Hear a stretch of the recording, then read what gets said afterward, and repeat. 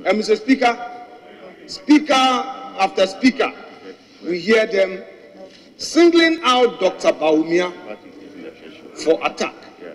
But you see, Mr. Speaker, whether they like it or not, Dr. Bawumia, the gentle, calm, technocrat, economist, a man with a vision for this country.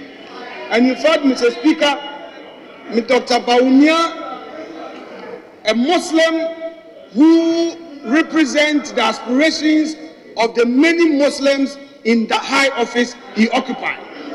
And Mr. Speaker, he has proven, he has proven that it ha- he has what it takes to lead an economic management team to deliver beyond expectation.